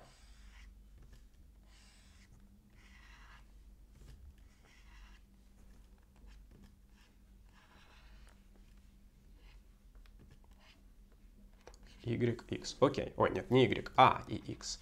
Так, вот так вот мы, получается, работаем. Хорошо, мне нужна часть вот этой прямой а равно минус 2х, которая заключена, получается, в э, где? Смотрим, ах больше равно минус 1 второй, больше равно минус 1 второй. Так, 0, 0 мне подходит? Подходит, потому что произведение будет нулю равно. Так, а, ну получается вообще вот эта вот вся область, да? Давайте проверим по четвертям. Вот это мне подойдет, например? Не, подождите, это мне не подойдет потому что в этой четверти а и x оба положительные, оба положительные. И да, ну, больше равно же минус 1 второй, все нормально. Здесь оба отрицательные, все подойдет. А, здесь у меня равенство минус 1 второй, а, например, точка минуса так, минус 1 вторая, 1 вторая подойдет, потому что это минус 1 четвертая. Короче, да, все правильно. Все, что внутри вот этой вот гиперболы находится. Так, а равно минус 2х, тогда это вот такая вот прямая. Вот такая вот прямая. Сейчас еще раз. Вот такая вот прямая. И где-то я здесь накосячил. Да, вот здесь-то у меня все неровно. Здесь-то должно быть вот так. Так, давайте еще раз. Значит, прямая вот такая. и вот такая. И вот до сих точек, да? Здесь все криво. Здесь должно быть вот так. И вот так. Здорово. А, значит, от этой прямой нам остается только такой отрезок. От прямой а равно минус 2х. Отлично. Дальше идем. Вот такая вот окружность. От этой окружности нам нужна лишь полуокружность, находящаяся не ниже прямой минус х минус 1, а равно минус х минус 1. Это у нас что? У а равно минус х минус 1. Это у нас так, вот так вот, вот так вот, вот здесь и вот здесь вот проходящая прямая. Ну, конечно, пересечения неприятные все. Так. Ну так. И вот так. Ну хотя вообще-то эту прямую... Нет, вообще-то нет, нельзя эту прямую. У нас все не, не, уравнение э, определено только при таких значениях. Так, ладно, равно минус х минус 1, окей. И а, а плюс 1 в квадрате плюс х плюс 1 в квадрате равно 2. Понятно, здесь у нас центр окружности. И корень из двух у нас а, радиус этой окружности. Так, так, вот у нас корень из двух, до чего нас доведет. И, у, получается, конечно, здесь очень интересно все. Нет, подождите, стоп, стоп, стоп, стоп, стоп, стоп, стоп. Все не так. Вот здесь у нас центр окружности, вот здесь у нас центр окружности, вот здесь у нас получается.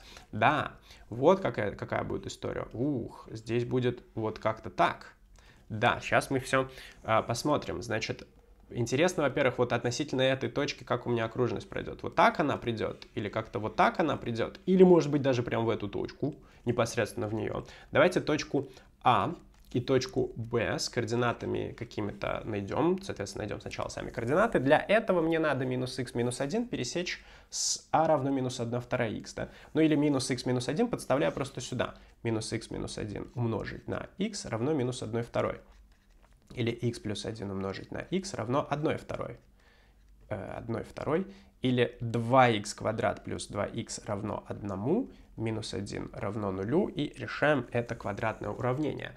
Получается, э, дискриминант, значит, будет у нас 4 плюс 8, 12, минус 2 плюс минус корень из 12, то есть минус 1 плюс минус корень из 3 на 2.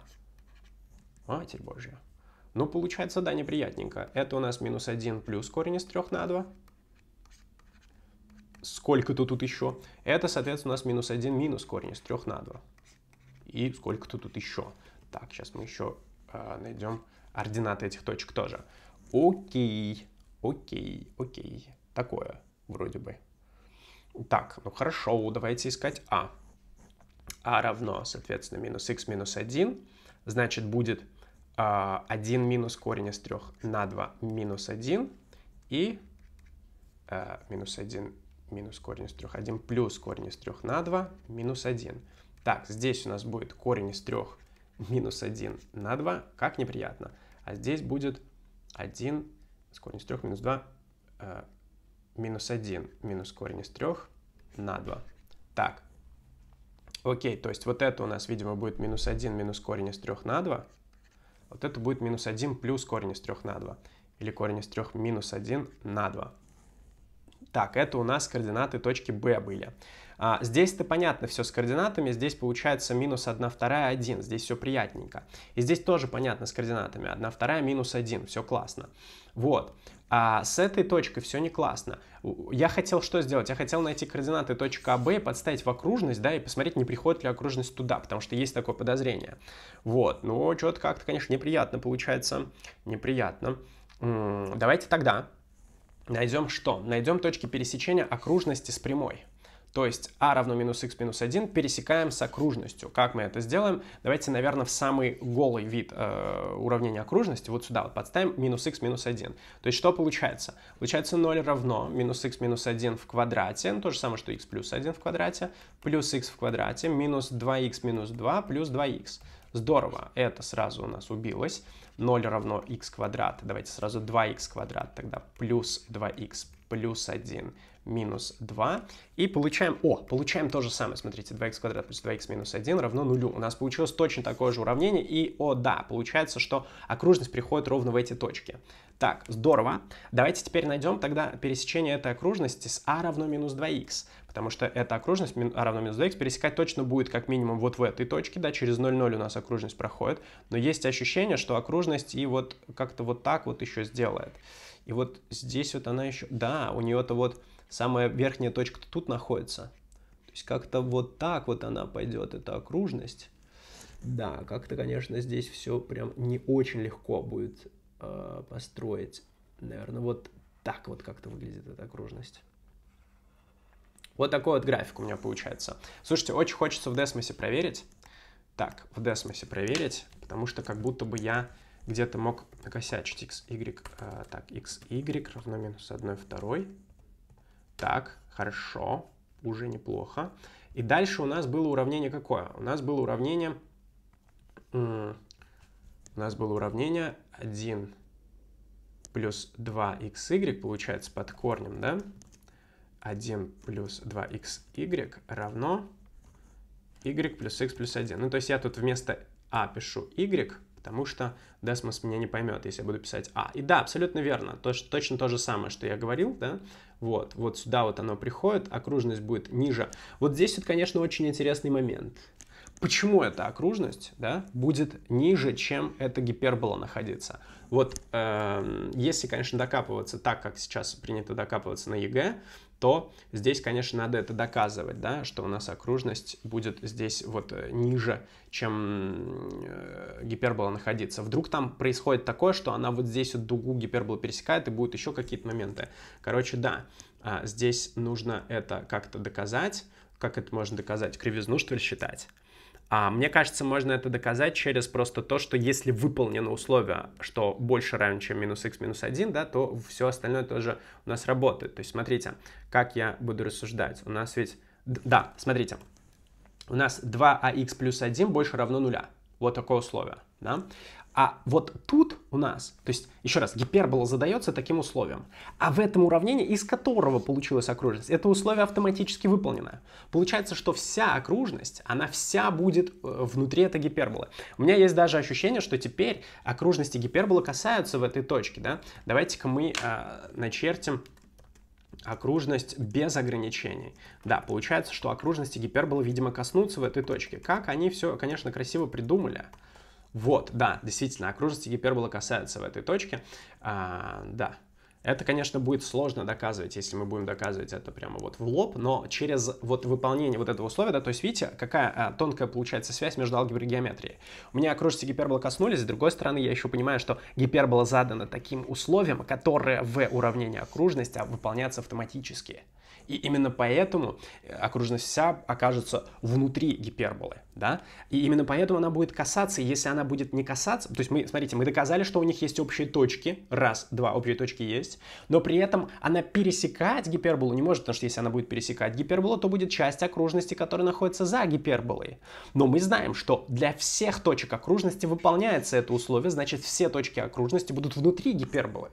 То есть понимаете, какая получается здесь? Игра тонкая, да, а, вот это вот все надо, по, по идее, да, хорошо, глубоко понимать, чтобы задачу, собственно, хорошо решить. Ну, ладно, в общем, давайте э, дорешаем, наконец, задачу. То есть тут понятно становится, что у нас, значит, что должно это быть? Два решения, два корня, да. Два корня у нас когда получится? Во-первых, мы в целом понимаем, что все корни-то у нас, давайте я красным начерчу, э, те кривые, да, те линии, на которых будут корни находиться. То есть вот это вот у нас Собственно, здесь будут корни. Так, и корни будут, собственно, на... Так, а, сейчас я ее как-то красиво это все начерчу. Вот здесь вот должна проходить, да? Вот здесь. Что ж ты, вот так вот. И вот так вот. И вот так вот. И вот так вот должна эта окружность себя вести. Вот. Короче, получается, смотрите, А. Какие могут быть? Вот здесь нет решений вообще. Вот здесь одно решение. Вот здесь, да, отсюда до касания, о, не, не до касания, до прохождения через точку Б, вот здесь будет два решения. Э, нет, неправильно, неправильно. Вот здесь будет два решения, вот. Дальше будет три решения, и начиная отсюда и вниз тоже до нуля будет два решения, да. То есть давайте посмотрим, здесь у нас что? Здесь очень легко найти значение параметра. Это я просто получаю, а, касание-то у меня происходит вот так вот так, что радиус, проведенный в точку касания, перпендикулярен касательный, значит, я могу просто от этой точки отсчитаться. Это у нас минус 1 плюс корень из двух. Вот. Минус 1 плюс корень из двух. То есть к центру окружности прибавили длину радиуса просто. Далее, это у нас что? Это а равно корень из 3 минус 1 на 2. а равно корень из 3 минус 1 на 2, да? Далее, здесь у нас а равно нулю. Здесь все очень просто, а равно нулю, понятно. Здесь у нас пересечение а, а равно минус 2х и наши окружности. Я его так и не нашел. Давайте найдем пересечение а равно минус 2х и наши окружности. Я, значит, это подставляю сюда, да? Так, а квадрат превратится в минус 2х в квадрате, плюс х квадрат плюс 2а превратится в минус 4х плюс 2х. Это все равно нулю. Так, 5х квадрат минус 2х равно нулю, и получается что? Э, что получается? 2 пятые, что ли? х равно 2 пятые, либо х равно нулю. Вот так вот. Либо 0, либо 2 пятые. А, сходится ли? Давайте посмотрим. Не сходится как будто бы. Мне не нравится, что тут 2 пятые получается. Потому что, смотрите, 1 вторая здесь, да? Это... А, нет, подождите, почему не сходится? Сходится 2 пятые. Все правильно. Это 0, а это 2... Так, да, но это 2 пятые, это, конечно, прекрасно, но мне надо А, а это минус 4 пятых. А это минус 4 пятых. Все, получается тогда, что вот отсюда в... Так, отсюда в так, нет, сейчас, подождите, это у нас что? Это у нас 3 четвертых же. 0,75, это даже... Ну да. Короче, вот отсюда, вот до сюда, снова у нас два решения. Снова два решения. Давайте запишем ответ. Вот ответ, смотрите, какой будет. От а, минус 1 минус корень из 3 на 2 не включительно. Нет, включительно. Вот минус 1 минус корень из 3 на 2 включительно, да, до, э, до чего получается? До чего? Кстати, почему-то здесь как будто бы... Здесь как будто бы минус 1 должно получиться. Почему у меня у этой точки получается такая ордината? Точно ли будет такая ордината? Что я начинаю сомневаться. Потому что очень похоже на минус 1. Вот. А, так и, конечно, все, это и есть минус 1. это и есть минус 1.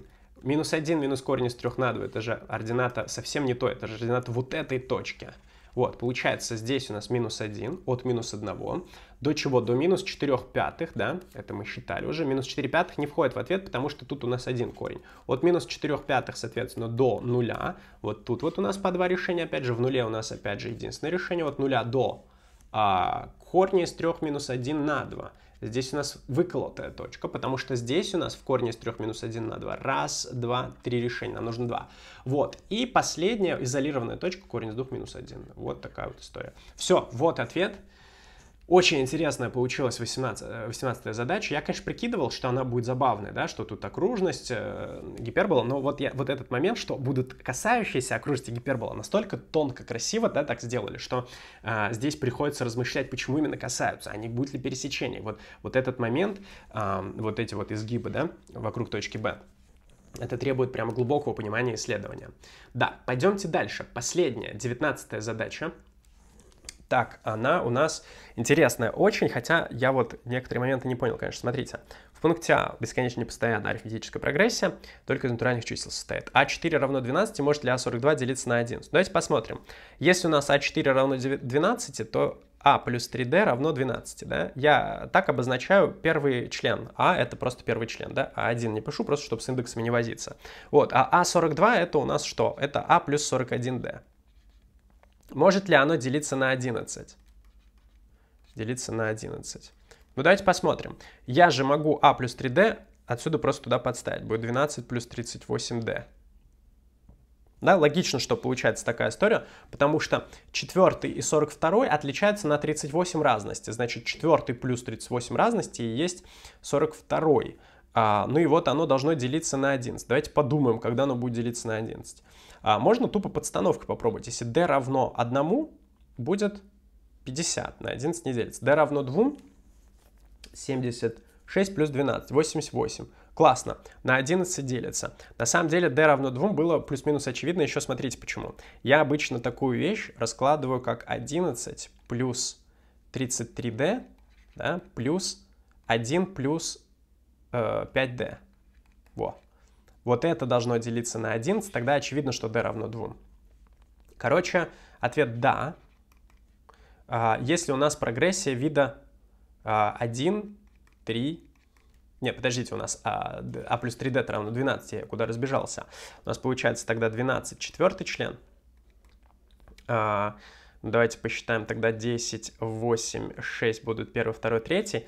Вот, ну и так далее. И 48 тогда получится чему равен? 6 плюс 41 на 2, 6 плюс... А, ну 88 же, я же уже считал, что это 88 должно быть. Ну, короче, да, вот у нас получается четвертый член 12, последний 88, он делится на 11.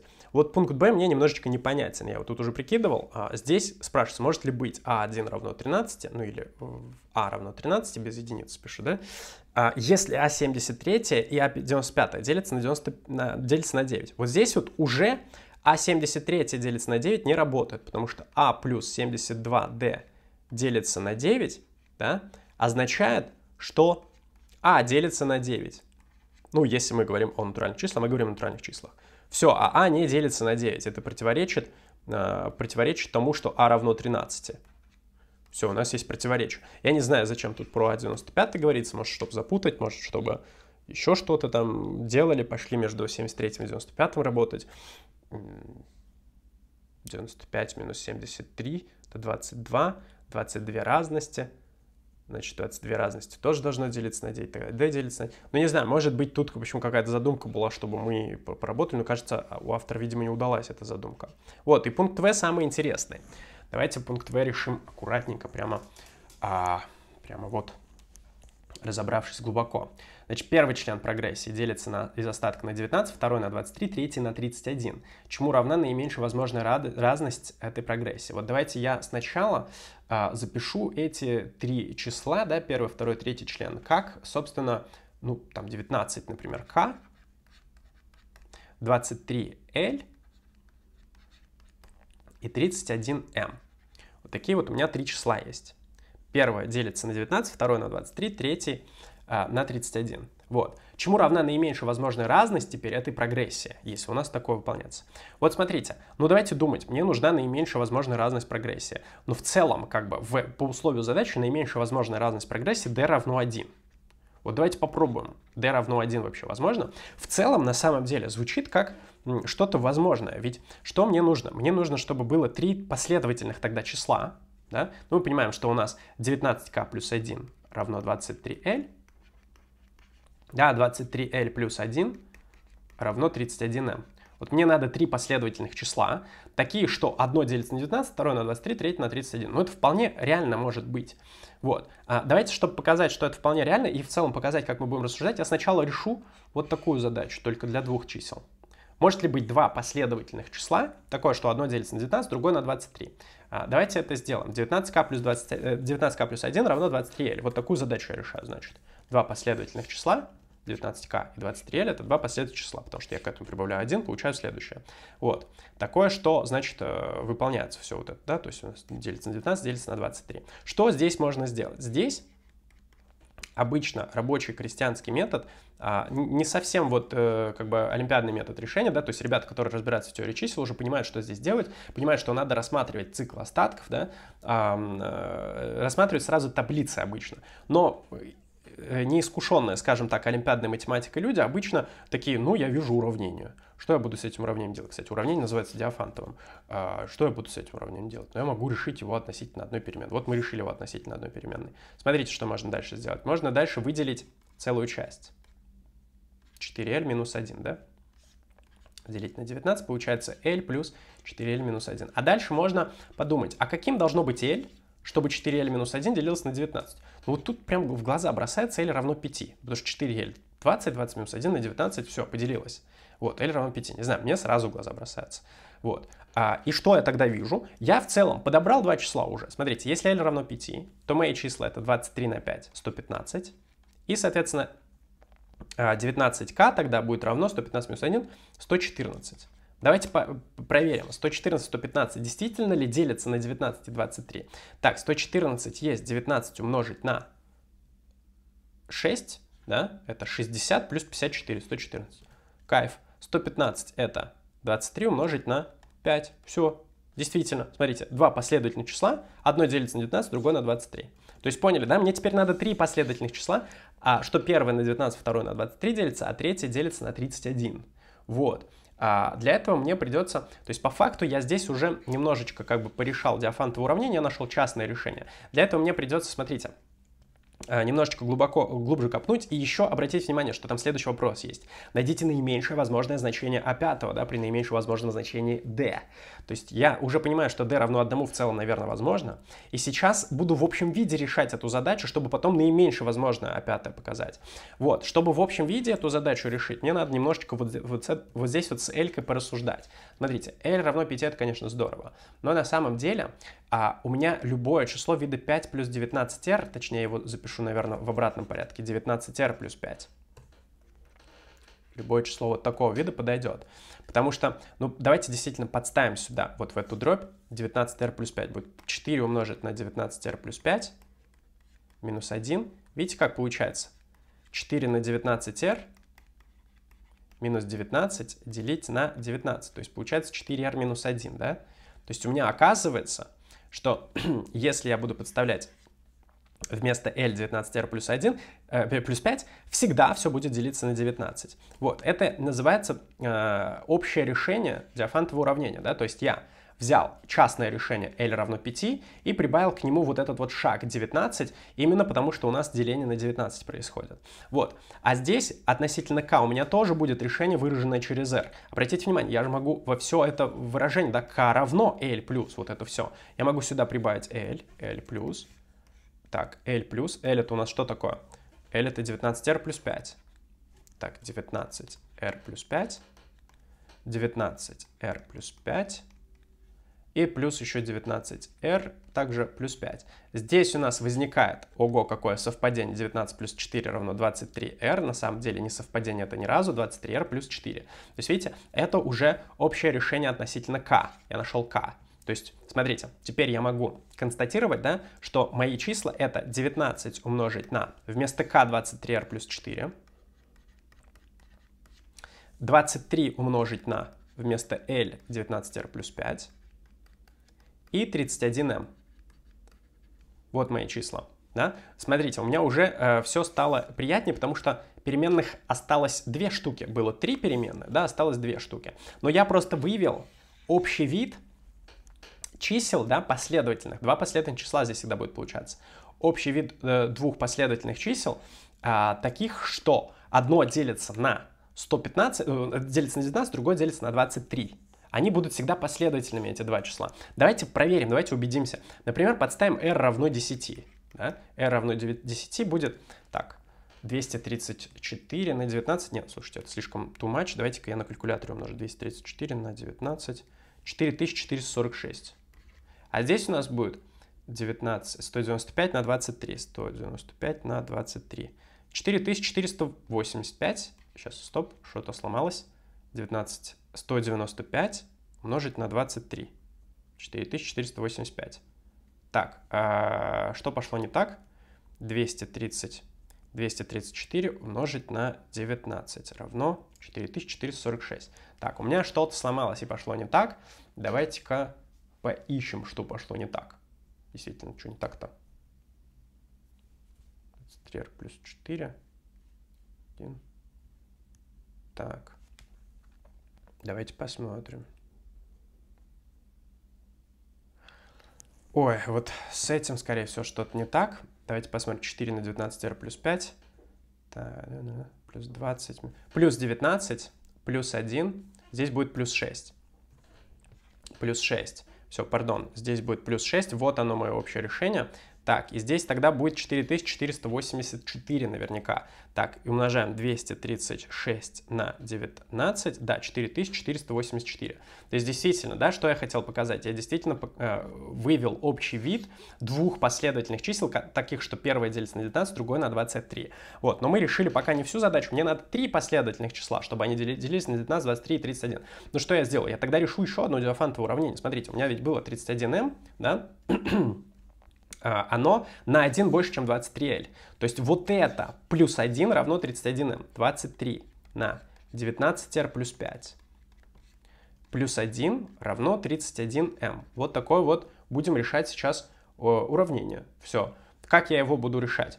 Ну, опять же, я показываю неканоничный способ решения э, диафантового уравнения. Тут есть вообще на самом деле достаточно короткий способ. Я хочу показать, как вот э, обычные ребята, которые никогда это не делали, вообще могли бы понять эту задачу. Я опять же, как в предыдущем случае, попробую сейчас просто выразить одну переменную через другую. Да, я ведь вот так вот к этому пришел. Вот, я попробую сейчас одну переменную выразить через другую, посмотрю, что получится. m равно, так, 23 на 19r плюс 23 на 5, 115, плюс 1, 116 делить на 31. Вот такой вот у меня m. Хорошо, говорю я, давайте я вот здесь вот выделю целую часть. У меня будет 116 делить на 31, это 3. Плюс m23 на 19r плюс 116, 31 на 3, 20, э, 93, 23, о, 23 получается. Вот, это очень приятное совпадение или может быть даже не совпадение вовсе, а, что 23 выносится за скобки. Смотрите, мне теперь надо сделать так, чтобы 3 плюс 23 умножить на 19r плюс 1 на 31. Мне надо подобрать теперь такое r, чтобы 19 3 плюс 1 делилось на 31. То есть помните, я здесь должен был подобрать такое L, чтобы 4L минус, 5, минус 1 делилось на 19. А здесь мне надо подобрать такое R, чтобы 19R плюс 1 делилось на 31. Вот оно в чем вся суть. Значит, я э, подбираю такое R. Ну, здесь придется, конечно, повозиться. Мы видим, что 0, 1 не подойдут, да? Э, так, 0, 1 не подойдут, 2 тоже не подойдет. Получается 38, 39, 31. Ой, 3, наверное, тоже не подойдет. Давайте все перебирать. R, 19R плюс 1. Так, 0, 1, 2 не подошли. 3, 4, 5, 6. Надеюсь, где-то здесь рядом оно будет. Так, 19 на 3. Это как 60, 57, 58, да? Не делится на 31. 58 плюс 19, 77. Не делится на 31. Плюс 19, 96. Не делится на 31.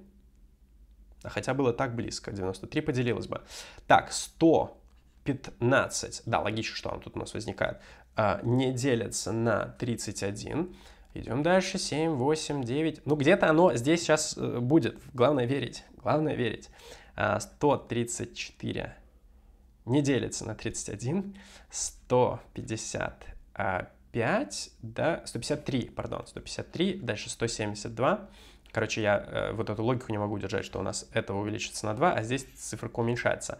Так, 153 на 31. 31 умножить на 5 было бы 155. 172 тоже не поделится. 191, тут 10 у нас, не делится на 31, да? 31 а, на 6 был бы 186. Бррр, 11, 12, сейчас подойдет что-то, по-любому что-то подойдет, главное верить. Так, здесь будет 210, явно не делится на 31, 229, я 19 прибавляю, явно тоже не делится на 31, да? 31 на 7 было бы 217, да и 248. Э, О, делится на 31, будет 8. Все, нашли, 13. Ура, r равно 13. r равно 13, возрадуемся. r равно 13 подходит. Вот, мы подобрали частное решение, это самое сложное было. Теперь мы что говорим? Смотрите, общее решение будет выглядеть, да? Это у нас частное решение. А общее решение всегда выглядит как 31, э, то есть вот это вот число, относительно которого мы остатки рассматривали, 31, там, не знаю, n, n мы еще не использовали, да, нигде? n у нас не было? Нет, не было n. 31n плюс 13. И теперь самый, э, самый сложный момент. Надо теперь подставить везде 31n плюс 13. То есть в m подставляем, да, это будет 3 плюс 23 умножить на, так, 19 на 31n плюс 13 плюс 1 делить на 31. Надеюсь, вы еще смотрите. Так, 3 плюс. Здесь должно теперь сократиться что-то хорошо. 31 должно хорошо сократиться. А, при раскрытии скобок получится 19 на 31n плюс... Так, 19 на 13 это 190 плюс 57 это 247. Да, 248 должно получиться. Это логично, что это число тут получается. Да, 248 делить на 31. И смотрите, смотрите, смотрите. Здесь будет 8. Здесь будет 11 вместе с этим. Плюс 11. А здесь будет вот, вот что. 23 на 19 на 31n. Вот оно число. Ура! Да? Нет? Подождите, почему у меня так рано возникло 31? Да, 31 не должно быть. 31 не должно быть, оно сократилось. Пардон, чуть не испортил все. 23 на 19n а, плюс 11. 23 на 19 на n плюс 11. Да? И, соответственно, соответственно, должно быть что? Э, сейчас. Пардон. Все неправильно сделал. Все неправильно сделал. Очень сильно я все неправильно сделал. Давайте-ка не будем торопить события. Здесь у нас будет 3 плюс 23 умножить на 19 n плюс 8. Вот, 23 на 8 должно быть умножено еще. Так, будет 19 на 23 n плюс 23 на 8, 160, 140, 184 плюс 3, 187. Вот оно. И теперь только после всего этого я подставляю в третье число, напоминаю, у нас не просто m, а 31m. А мы нашли здесь, вот сейчас, мы преобразовывали просто m, да, мы вот с этим работали. Это просто m. Нам нужно число 31m. 31m равно 31 на 19 на 23n плюс 31 на 187. Ура! Честно вам клянусь, это все, это конец. Мы решили задачу. Сейчас объясню, что произошло. Мы наконец-таки нашли вид числа, да, в общем виде, как у нас должно выглядеть третье число вот этой тройки. То есть, напоминаю, мы искали три числа, такие, что они последовательны, при этом первый на 19, второй на 23, третий на 31 делится. Вот. Мы нашли теперь э, таки, такое третье число. Можем найти первые два. Мне надо будет r равно 31n плюс 13 подставить сюда и сюда вместо r. Но на самом деле в этом уже нет необходимости. Я просто сейчас уже 31m посчитаю. Смотрите, 31m равно 31 на 19 на 23n плюс вот это вот число меня больше всего интересует. Достаю калькулятор из широких штанин. 187 умножить на 31 равно 5797. Вот, и это у нас, получается, будет третье число. Смотрите, что мы получили. Вот, значит, нас а, интересовало, собственно, чему равна наименьшая возможная разность э, этой прогрессии, если все три делятся. Вот я получаю число 5797, вот это третье число прогрессия. Здесь у меня будет 5796 и 5795. Значит, утверждение следующее. Вот это делится на 19, это делится на 23, это делится на 31. Убедитесь в этом, проверьте. А, на калькуляторе я сейчас тоже проверю, потому что не помню таких чисел. Так, на 19 делится, 5796 на 23 делится, и 5791, естественно, делится на 31, мы его только что получили. Так, все, да, здорово, вот у нас три числа, собственно. То есть d равно единице действительно минимальное, d равно единице может быть, да, d равно единице, да. Вот. Теперь вопрос следующий. Смотрите, зачем мы так парились, чтобы ответить на второй вопрос? Найдите наименьшее возможное опять при наименьшее возможное значение d. Так вот, наименьшее возможное опять, оно будет, да, как раз таки, я ведь что сделал? Я вот, вот этот вот общий вид решения, да, подставив n равно нулю, я получил наименьшее третье число. Вот это вот a3 наименьшее, да, вот. А значит, наименьшее пятое число будет 5798, 5799. Вот оно, наименьшее пятое число, которое будет получено при таком о да. А, здесь составитель нам специально вот этот вопрос засунули, чтобы мы подольше повозились вот с этим вот общим решением а, системы диафантовых уравнений. Фактически мы с вами сейчас решили систему диафантовых уравнений. Каких диафантовых уравнений? У меня было три числа 19k, 23l. 31m, мы решили вот такое вот уравнение 19k плюс 1 равно 23l, 23l плюс 1 равно 31m. Мы вот такую вот систему с вами решили. Вот. Ну, э, там, по идее, KLM находится, да, но э, если сюда, э, вот сюда подставить еще R найденное, то у меня получится, вот оно, R, да, то у меня получится, собственно, KL и M у нас тоже уже найдено где-то было через R-ку, я уже забыл где. Вот у нас 31 плюс 13, или вот это вот у нас M.